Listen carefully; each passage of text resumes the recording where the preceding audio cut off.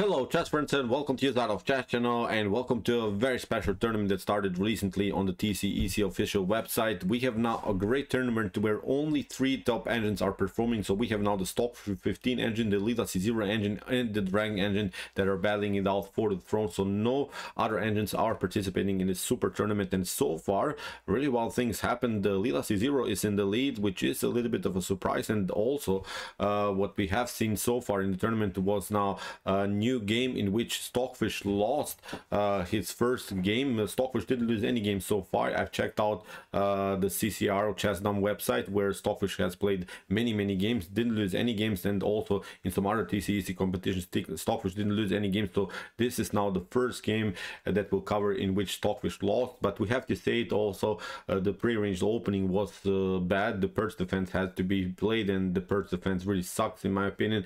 So also the reverse game was won by Stockfish, so nothing dramatic, dramatically basically happened. So Stockfish won the game, but also lost the game with the black pieces. So as I said, uh, that's why also I think you should try to avoid the Pirc defense because it's simply too passive, and especially in, in the setups that that was that were also pre-arranged. I think uh, White is always great attacking chances. But still, I wanted to cover this game because it had so beautiful tactical elements uh, with really some uh, spread tactics all over the board. You know when uh, suddenly the pieces uh, spread and then get connected and at one particular moment of, of the tactical sequence. So it's very beautiful to watch this top engines battling it out. So let's see now uh, the tactical beauty played by Leela C0 against Stockfish 15 so here uh, Leela opened with the move e4 but as I said it's not uh, that this engines uh, choose to play this opening. This was uh, simply the pre-arranged opening line. So uh, d6 so we have d4 the Pirc defense. So far knight to f6 knight to c3 so we have now the move c6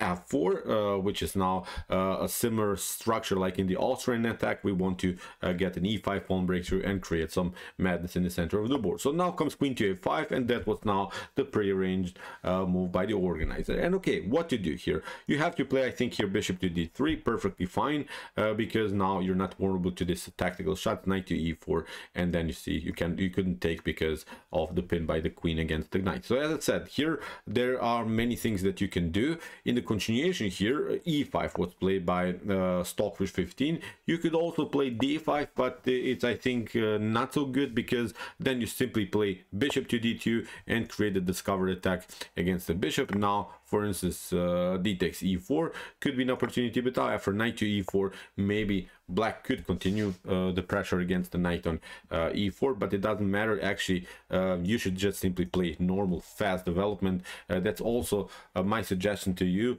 Whenever you feel a little bit pressured always slow down the pace of the game a little bit. You see okay black had some attacks against the pawn on d4 but black has brought only two pieces out. Meanwhile you see even if black takes here the pawn on d4 we can play queenside castling and look at this. We have already one two three four pieces out. The rook five pieces out. The queen has to lose an extra tempo okay black has his fun with this extra pawn but uh, i think uh, black is getting destroyed tactically for sure in this game. So that's why as i said after bishop to d3 this line with the move d5 doesn't make any sense. Uh, so here we have e5 by stockfish we have knight to f3 we have knight from b to d7 and now bishop to e3 supporting of course for these two pawns. So we have uh, bishop to e7, h3, preventing knight to g4. We have uh, d takes uh, e takes d4, bishop to d4, and now knight to c5. Continue the pressure against the e4 pawn, but also attacking um, the bishop on d3. And of course, there is again this tactic knight to e4, knight to e4. Then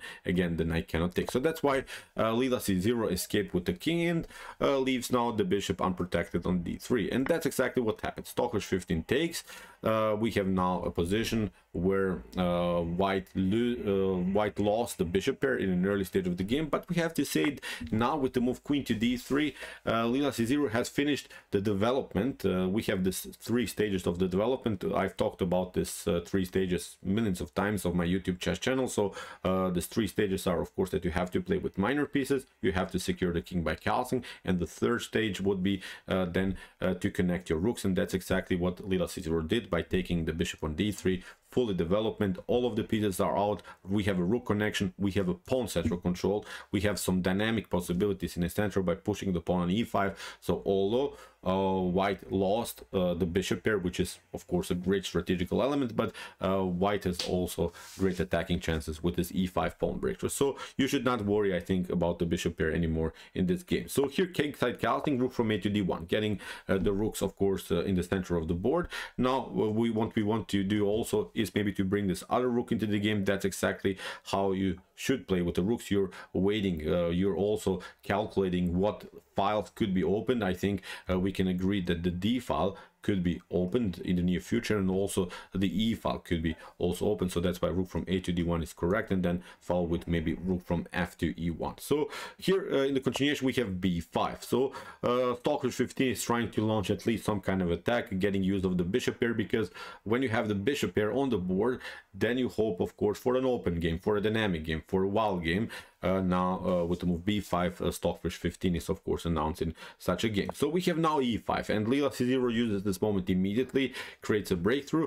If you step back uh, with the move knight to e8 this is not good because you get simply knight to e for the follow-up and um, this is always sort of a motif that you should remember uh, e5 and then uh, to follow up with the knight you have liberated now a square and the knight is included into the attack. So now as we said even if you try knight to e8 we have knight to e4 and then uh, even if you take you don't have to even react. You can even play this idea knight to g5 immediately with the checkmate threat. So you don't have even time uh, here to take out the bishop. So it's really weird position where um, black is really really endangered here black would i think even uh, be forced here to weaken the pawn structure further with the move g6 and now we can take knight to, uh, knight to uh, e5 bishop to e5 it's a uh, I think a bad game especially because of the fact that you have several square problems in front of the king. So here after move e5 d takes e5 was played. We have uh, f takes e5 knight to d5 and again this follow-up knight to e4 we don't want to trade off of course because then it simplifies the game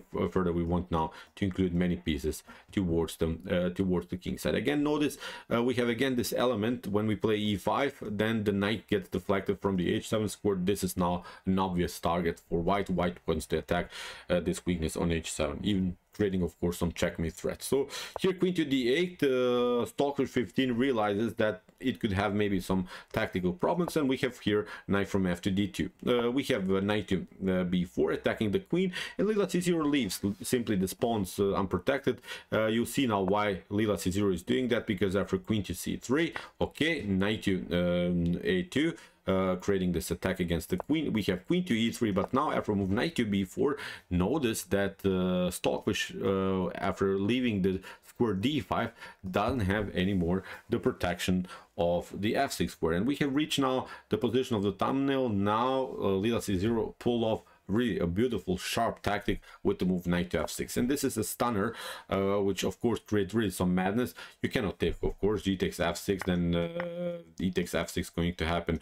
Uh, the queen is sneaking in here on dark squares will probably deliver checkmate. Even if you want to sacrifice the piece back it doesn't matter. We'll just uh, take out with the bishop and the game is over. So you cannot take the knight on f6 and the cool part about this game is that the knight will be there a little bit longer. So this will be probably one one of the most annoying knights that you see. So move knight to f6, we have king to h8. The king has to step back, and now knight to e4. Again, the new knight is coming into the game. And okay, here Stockfish takes another pawn.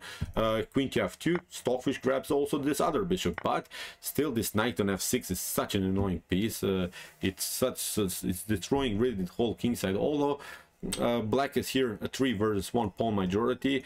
Uh, still it's so hard to push uh, these pawns because meanwhile uh, white is doing something. White will maneuver many pieces towards uh, the king side and will try maybe to attack the h7 as i said to deliver checkmate. So we have queen to b6 uh, what Stockfish is hoping for is maybe that um, Leela c0 moves somewhere with the rook and then Stockfish would of course love to simplify the game by trading off the queens because the only way for white to win this game is of course by including the queen into the attack. So that's why here king to h1 was played getting out of the potential range of the queen where no queen trades are possible. So here in the continuation we have c5 kicking away um, uh, the rook. We have queen to h4 so stock uh, pardon me Leela c0 didn't react. Is threatening immediately checkmate on h7 so we have h6 and now rook to d3 and now you could do many many things. For instance if you try here to compete on the d file. this is not good and um, here you see immediately why the rook connection is a very important stage because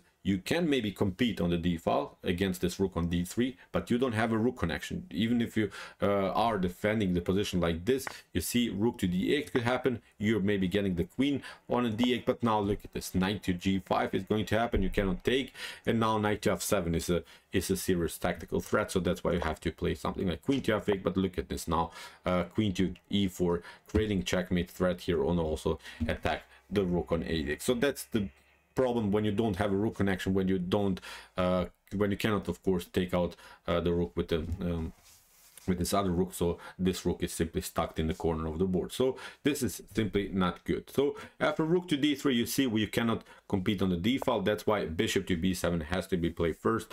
Uh, now rook to d8 would be of course perfectly fine. So here rook to uh, d7 so attacking now the bishop on um, bishop in e7 we have bishop to e4 we have rook to e7 and now we have bishop to d3 rook to f3 so Leela c0 is creating now another rook lift. Uh, again i'm pointing out there's nothing special. You can really never take because the queen will come here in h6 rook to g3 was going to happen so you're getting checkmate. So so we should not consider even anymore this tactic with uh, g takes f6 so this is simply not a possibility. So after rook to f3 we have rook from a to d8 we have knight to d7 even if you try something like rook from f to d8 maybe to escape from this potential fork it's not getting better because of this tactic again. Uh, rook to d3 you see rook to d3 and again queen to e4 again this uh, rook is cornered here and we are again creating this checkmate threat on um, on h7 so this is not a possibility so here I've removed rook to f3, that's why rook from a to d8, but now uh, Leela c0 wins the exchange uh, with the move knight to d7. Rook to d7, rook takes d7, and this is now a completely, completely winning endgame here for Leela c0. So bishop to g6, we have uh, queen to e7, rook to g8, rook to b7, trying of course to kick away further the queen, take out the pawns, also uh, trying to get all of these pawns and then go of course into a favorable endgame. So we have queen to c6 and now a beautiful move uh, here by uh, Leela c0 which forces now uh, the trades of queens which is in my opinion a good choice here. A simplification is perfectly fine because uh, maybe in if uh, Leela C0 would not have played this move, then of course the bishop can be also still a dangerous piece. So that's why trading off the queens and simplify the game is, in my opinion, a perfect, perfect idea here for white. So after move e6, what you could do, and this wasn't played in the game, uh, would be f takes e6, but this is not working because of this one.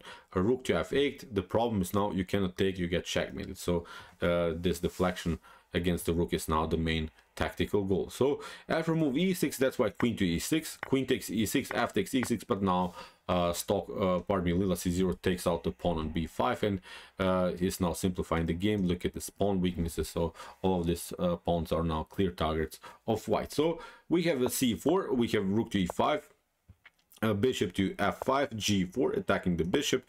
We have a bishop to b1 and now Leela c0, c0 grabs the pawn on e6 we have rook to b8 rook to f2 we have rook to b3 king to h2 c3 b takes c3 rook to c3 and now stockfish includes both of these rooks into the attack. Especially this is a really great idea how to play with its rooks in an endgame, you should bring them, of course, on the 7th rank, where most of the pawns uh, are, and then you can create, of course, some damage in the continuation of the game. So king to g6, we have rook takes a7, rook to c2, we have now some checks, but of course, uh, you cannot create perpetual checks. We have rook to d4, king to c5, rook to d1, and now h4 uh, trying even to maybe build sort of a mating net by playing h5 and then maybe rook to uh, rook to g7 for instance if the king comes on g5 then it would be at least some kind of a checkmate idea here. After move h4 we have rook to g1 we have uh, rook to g8 of course threatening here the move rook to g7 so we have king to f6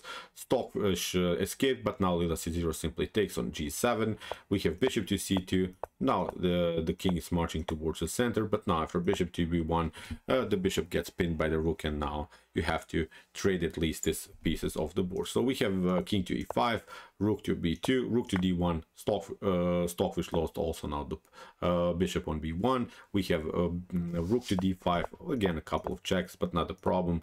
We have g5 again a check Again, a couple of checks, but not a problem after h6, g5 in this position. Stockfish 15 resigned. So, incredible, incredible game. As I said, Stockfish won also the reverse game. Uh, this is really a bad opening that you should try to avoid, but uh, I really wanted to cover um, this uh, defense more because recently we have started uh, this Pirc and modern defense on my YouTube chess channel. So I wanted to, of course, also see some other ideas that you can apply and uh, win games very easily, win games very effectively. So I think this is also a cool approach by Leela C0, especially this beautiful knight to f6 sacrifice was uh, stunning, stunning tactic. They surprised even Stockfish 15, so it was, in my opinion, really incredible game. So Stockfish lost its first game, nothing special, of course. We'll see now how the tournament will go on. So far, as I mentioned, the Leela C0 is in the lead, has half of the point more than Stockfish 15, so we'll see how this tournament uh, will end. It will, I, uh, I think, will will be a beautiful, beautiful uh, chess event for uh, for us to watch. So, okay, I hope that you enjoyed this game. I really, really enjoyed it a lot. Um, if you want to see more uh, beautiful tactical game like this, check out my Commented Chess Games Play by Computer series with some more games